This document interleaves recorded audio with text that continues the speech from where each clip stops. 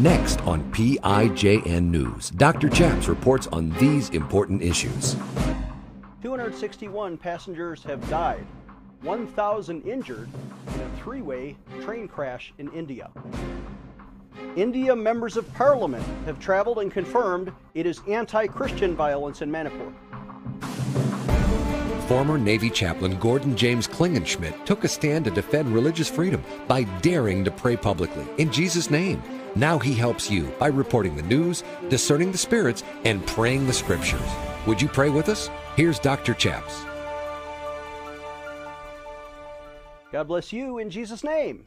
My name is Chaplain Gordon James Klingenschmitt, Dr. Chaps, and you're watching PIJN News.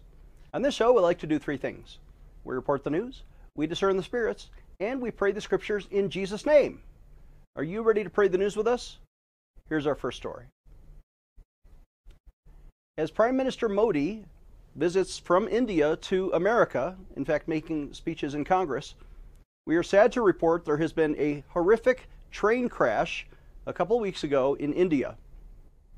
BBC reports there are at least 261 souls have perished and maybe another thousand have died in a horrific three way train crash in, of all places, Odisha, India. That's a state in the Northeast where I have been many times, and our ministry sponsors and feeds up to a thousand orphans and children in the same state where the train crash happened. BBC says that 261 are dead, 1,000 injured. Uh, one passenger train derailed onto an adjacent track, and then it was struck by an incoming train, also hitting a nearby stationary freight train. The massive recovery operation was underway at the time of this report, and hundreds of emergency workers searched through the wreckage to find, sadly, many bodies and injured people. But the cause of India's worst train crash in over 20 years is really not yet clear. Officials say that several carriages from the Coromandel Express traveling between Calcutta and Chennai derailed at about 7 p.m. in the Balashore district. Again, I've been to Balashore district. Uh, after hitting a stationary goods train, several of its coaches, the back end cars, ended up on the opposite track, and then in comes another high moving train traveling in the opposite direction. It was the Howrah Superfast Express train from Yeshwanthpur to Howrah, and it hit the overturned carriages, sending its passengers flying. Atul Karwal, the chief of the National Disaster Response Force, told ANI News Agency the following quote, The force with which the trains collided has resulted in several coaches being crushed and mangled. And those are the coaches where many of the passengers were resting. More than 200 ambulances showed up in response. Hundreds of doctors and nurses and rescue personnel were sent to the scene. And the state's chief secretary, Pradeep Jena, was talking about this. Another person, the Director General of Odisha Fire Services, is Sudhanshu Sarangi, and he had earlier said that 288 people had died, but that number was scaled back to 261. All trapped and injured passengers have now been rescued, thankfully. It's not clear, however, how many are still facing serious injuries and how many of those are still in the hospitals today. Work to restore the site on the crash has begun, and the trains must keep moving. India's Southeastern Railway Company said the Saturday after the crash. That's the news. Our thanks to BBC. Uh, we suffer with the people of India who are involved in this train crash. Uh, we love you and we care deeply about your safety and about the loss of your loved ones. Uh, we weep with you, we mourn with you, uh, and, and we pray for the quick recovery of those who are still injured and recovering. And, and uh, all I can say and people sometimes ask Christians, Where is your God? And I tell you, our God is the one who brings comfort. Our God is the one who inspires the hospital drivers and the doctors to go and bring healing. And our God will help wipe away your tears and bring you comfort, even in the midst of your sorrow. We believe this accident is from the devil, not from God. The, the, the death and pain and suffering are from evil. They're not from God. God is always good. And God promises this in Revelation 21. If you are saved, if you know Jesus, and if you go to heaven, then God will wipe away every tear from your eyes. Someday, in the Christian heaven, there shall be no more death, no sorrow, no, nor crying. There shall be no more pain for the former things have passed away. Let us pray for you. Would you allow us to pray? Father in heaven, we pray in Jesus' name for the people of India and especially those impacted by the accident in Odisha. Father, we pray for their healing, for their recovery, and that you would wipe away their tears from the mourning and sadness caused by this uh, train derailment. Father, we pray that you reward the first responders, the doctors, and the ambulance drivers and everybody who was able to help. Father, uh, give them a prophet's reward for being your hands and your feet. In Jesus' name, amen. Let's take a short break. When we come back, we're going to discuss the horrific anti Christian violence in Manipur, now confirmed by members of parliament. This is PIJN News, defending your religious freedom. Dr. Chaps will be right back. We're here in Israel, in literally the scene of all of the holy sites, like the Via Dolorosa, where Jesus carried his cross, the garden tomb where he was raised from the dead, the Sea of Galilee, where he taught the disciples. And I prayed, Lord, how can I bring this inspiring environment into your living room? And what we've produced is a four DVD disc set with the entire Gospel of Matthew. I teach every verse in all 28 chapters of Matthew in short 12 minute segments so you can understand the exact words that Jesus taught from the exact location where Jesus lived. Pick up the phone right now and call us at 866 Obey God. Again, that's 866 O B E Y G O D. For a suggested donation of just $50, we'll give you all four discs, the entire Gospel of Matthew, or you can write to us at the address on your screen or visit our website, prayinjesusname.org. You're going to love this Bible teaching. Pick up the phone and call us today. I'm Dr. Chaps. I have two exciting announcements. For those of you who found us maybe one day a week, did you know we're on five days a week with in depth analysis and Christian news reporting, and we pray the news? Where else are you going to see that? Here's the exciting news we're now on Apple TV. We're on five days a week on this exciting new streaming platform, Apple TV. Maybe you've already found us on Roku or Amazon Fire, but Apple TV, look for PIJN News in the spirituality category. And here's my other, other breaking news. Did you know we're also on podcast? Well, what's a podcast? Well, you can listen to us five days a week on audio, maybe when you're working out at the gym or driving in your car. You can watch the video on your smartphone. Visit iTunes and look for PIJN News. We're also on 10 on demand platforms. Visit prayinjesusname.org to find them all. And did I mention it's absolutely free? Other people charge a fee, but ours is free. Subscribe today to PIJN News. Defending your religious freedom. Here is Dr. Chaps. Welcome back. I'm Dr. Chaps. As Prime Minister Modi, the, the Chief Minister of India, is visiting America this week and making speeches in the Congress, we want to again confirm the horrific reports of anti Christian violence that are still happening in Manipur, India. It's one of the easternmost states and I've been there, uh, and I've shared, you know, teaching in some of their colleges as a visiting professor, and I'm very concerned about the anti-Christian violence that is continuing to spread. We recently interviewed John Podayati on our show, and he confirmed 35,000 Christians have been driven out of their homes, particularly in the Meitei or, or Kuki tribe. That there's an ongoing battle between those. But it's not just between the, the factioning tribes. In fact, that's a sideshow. It's actually Hindus persecuting Christians. Because 202 churches have been burned or arsoned, and hundreds of bodies, mostly Christian, are piled up in the morgue where Hindus are shooting them in the streets. And we have this confirmed from multiple sources. Now, the latest source is members of India's parliament.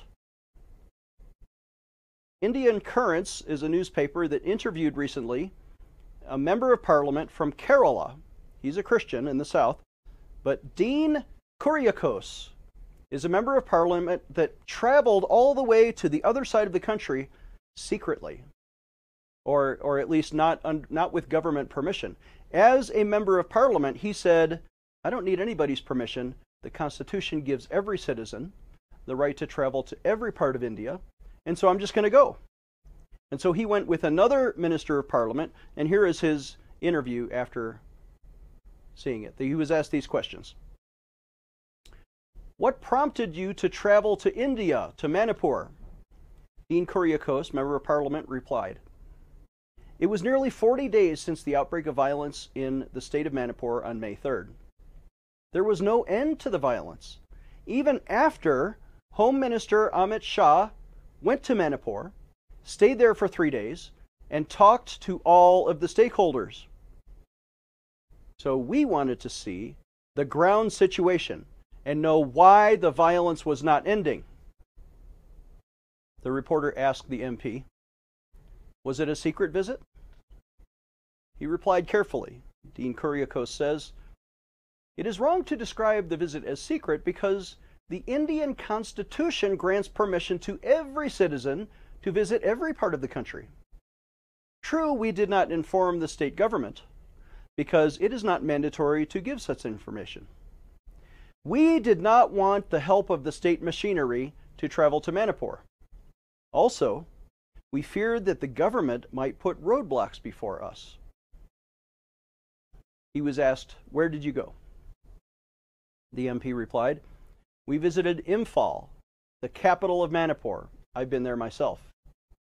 And from there, we went to adjoining districts and saw dozens of relief camps where people in thousands have been living in miserable conditions for more than a month.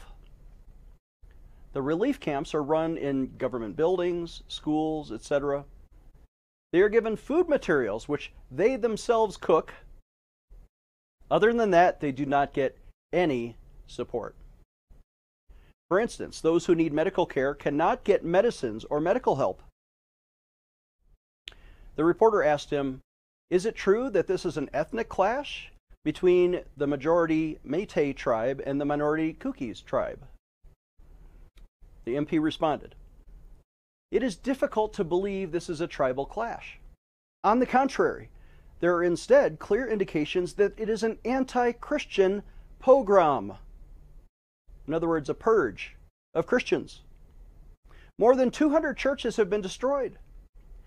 Churches, including those belonging to the majority Meitei tribe in Imphal, have also been destroyed. So Meitei Hindus are attacking Meitei Christians.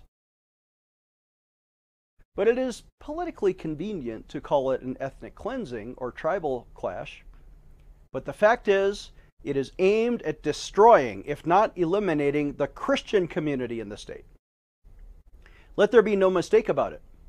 We visited St. Paul's Church, where every inch of the structure had been destroyed. They systematically used gas cylinders to destroy churches and homes of Christians. The MP was asked, Why is the violence not ending? He replied, that is what has been worrying us. When we were there, the St. Joseph School was attacked. The attackers came at night, violating the curfew orders. The law and order authorities were pre- present, but they could not prevent the attack. What this implies is that the writ of the state does not run in Manipur. There is reason to believe that the arsonists have the support of the state government. We're going to take a short break, but there is more to say about this report. Dean Kuriakose, the MP from Kerala, let's take a moment and pray. Father in heaven, we pray now for an immediate end to the violence and immediately repentance on the part of not just the violent factions, but on the part of the government of Manipur, that they are to blame. And they are enabling this. And they have done nothing to stop. In fact, they have helped sometimes. The radical Hindu tribes kill the Christians and burn their churches because they get more votes for doing that. But we say no. In Jesus' name, this violence will stop. We speak to the demons inside of those people and we say, You will sit down and you will cease your violence in Jesus' name. Amen. Let's take a short break. More on this report from Dean Kuriakose of Kerala. Empowering you, the grassroots activist. Here is Dr. Chaps. Hello, I'm Mike Lindell, and I'm here to tell you about my new product from My Pillow: towels that actually work. Watch this absorbency test. Here's another towel that we randomly went out and bought. Here's one of my towels with the nice design. I don't know if you can see this, but you could line a swimming pool with this. I mean, this is crazy. Get rid of it. Towels that actually work. What a concept. I really love the towels. They're really great. They're super absorbent. I'm interrupting this commercial to let you know we're having the biggest clearance sale ever. Get our six piece towel sets for only $29.88 with your promo code. My towel sets are made with proprietary technology and include two bath towels, two hand towels, and two washcloths. So go to mypillow.com or call the number on your screen. Use your promo code to get our six piece towel sets. Originally $99.98, then on sale for $49.98. Now we're closing them out for only $29.88 while supplies last. Once they're gone, they're gone, so please order now. You're still looking good. I'm still feeling good. You know, I've got all your My Pillow products: mattress topper, bed sheets, My Pillows, towels, slippers, blankets, sleepwear. Dog whoa, whoa, Charles! Everyone now can get My Pillow products at huge discounts at MyPillow.com. That's right. Now's the time to go to mypillow.com or call the number on your screen. Use your promo code to take advantage of our 3-in-1 sale. We're bringing you exciting new products, overstock specials, and closeout deals you won't find anywhere else. For example, when you buy one of our brand new MyPillow 2.0s, you get another one absolutely free. And with our overstock sale, you save 50% on our luxurious Giza Dream bed sheets. That's as low as $29.99 for the best sheets ever. And with our biggest closeout special, you get our all season slippers for only $35 or our sandals and slides for just $25. Quantities are limited, and once they're gone, they're gone. He is the intersection of church and state. Here is Dr. Chaps. Welcome back. I'm Dr. Chaps. We're continuing now our report. It is coming to us directly from India Currents magazine who has interviewed a member of parliament from Kerala who traveled to Manipur.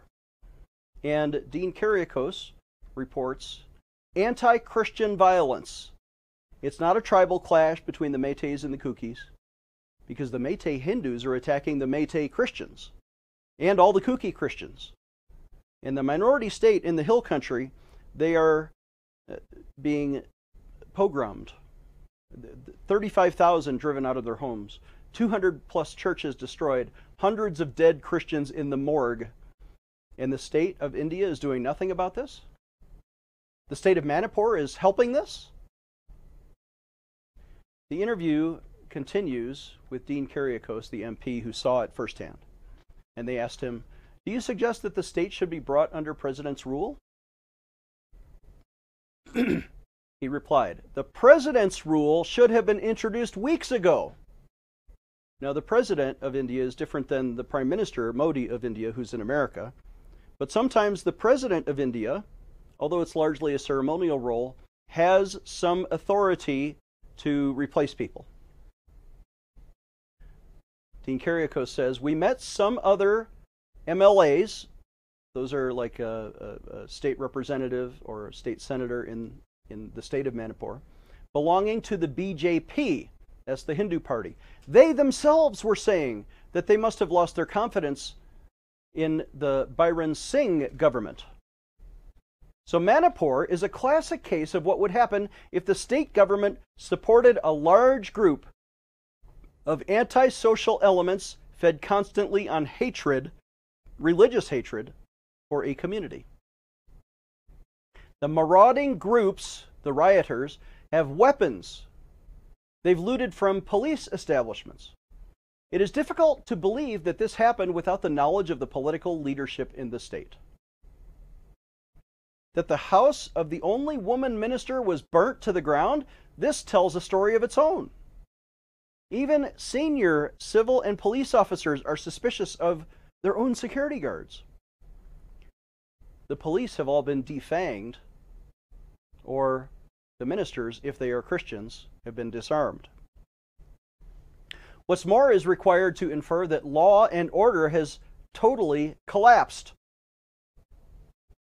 MP Dean Kuriakose was asked after his visit to Manipur, Do you think a separate state for Kukis is justified? He replied, I am not in a position to suggest that because I do not know how the Christians remaining in the valley would feel about it. However, there is no doubt that a majority of the Kukis have been alienated. Those are the mostly Christian hill tribers. They feel that the hills where they live should be declared a separate state, or at least an autonomous region, as was in the case of Ladakh. This needs to be studied. So there's precedent for creating, if not a separate state, at least an autonomous region where the Christians control their own police force or the election thereof. The MP was asked, What do you propose to do now? He said, We will write to the President of India. Droupadi Murmu is the first tribal to become president. And this is what is happening to the tribal community in Manipur? She has a moral and constitutional obligation to intervene. We will also write to the Prime Minister, Narendra Modi, who has been silent on this issue. We will also try to meet with him to order to give a first hand account of our visit. Of course, we will also inform the Congress leadership about the condition in Manipur. He was asked, Do you think Home Minister Amit Shah and his visit to Manipur has yielded any results? He answered, On the contrary. Many churches and church establishments were destroyed after his visit. It is now 40 days since the internet was cut. The official death toll has already crossed the 100 mark. Nearly 10,000 houses have been destroyed. Tens of thousands of people have become homeless. Thousands of children are being deprived of education. They fear that the strategy is to eliminate them. Mr. Shah admitted that this is not an ethnic clash, but a violent campaign against the Christian community. Let him admit this and take accordingly the right steps. What steps do you suggest? They asked the MP from Kerala. The state should be immediately under the president's rule. The army should be deployed to the state, and anyone who takes the law into his own hands should be dealt with severely. Once the message goes out that no nonsense would be tolerated, violence will automatically end. The Indian state has the capacity to deal with the situation if it feels strongly about it.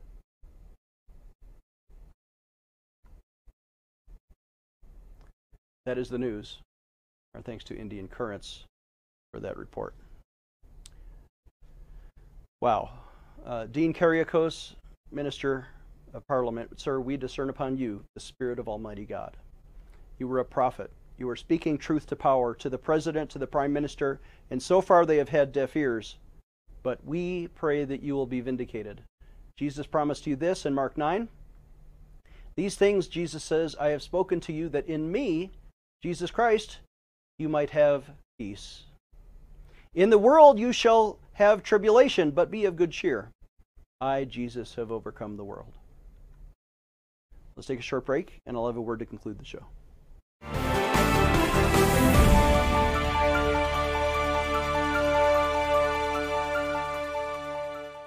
Do you need a physical or spiritual healing? Are you being tested or tried? When Jesus needed to pray, he went to the Garden of Gethsemane.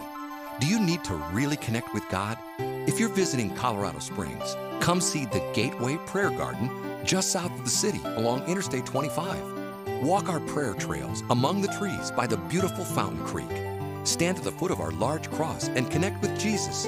Enter our life size replica of the empty tomb and spend time reading key Bible verses etched in stone along our ground cross as big as a football field. Join our worship gatherings and plan to attend our annual Easter Sunrise Worship Service.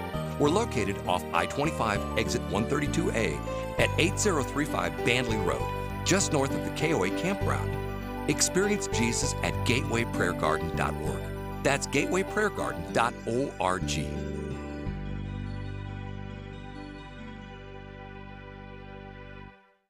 I'm Dr. Chaps. You know, Jesus taught the parable about sowing the seed, and you don't want it wasted. You want it to grow with 30, 60, 100 fold for the kingdom of Jesus Christ. I'll tell you three mission areas that we're doing here at Pray in Jesus' Name.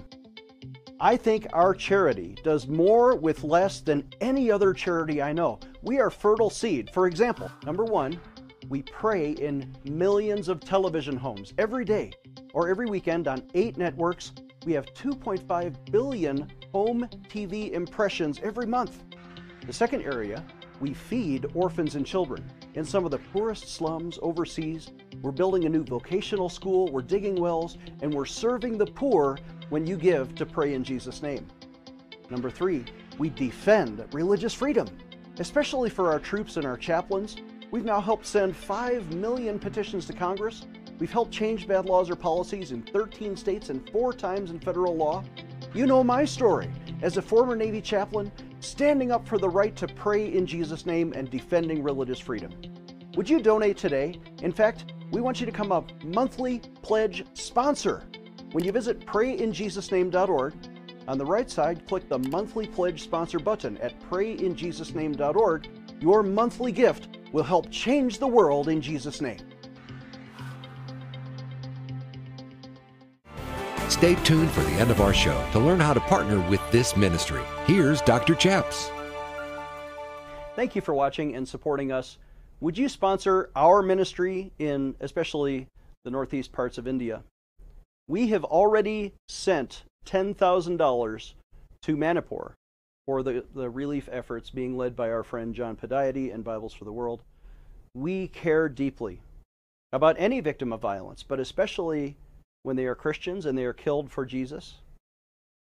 These are martyrs that you are sowing into when you donate through prayinjesusname.org and their families. The Bible says in Malachi 3 Bring all the tithes into the storehouse, that there might be food in my house, and try me now in this, says the Lord of hosts. If I will not open for you the windows of heaven and pour out for you such a blessing that there will not be room enough to receive it. May God reward you as you give. If you can give right now by telephone, call us at 866 Obey God. We'll see you next time. Dr. Chaps needs your financial support to stay on the air. Would you please send your best financial donation today? Please visit prayinjesusname.org to donate online, or you can mail a check to Pray in Jesus Name Ministries, Post Office Box 77077, Colorado Springs, Colorado 80970. You can also call us toll free right now, 866 Obey God. That's 866 O B E Y G O D. Please sign up for our free emails at prayinjesusname.org. Again, that's prayinjesusname.org.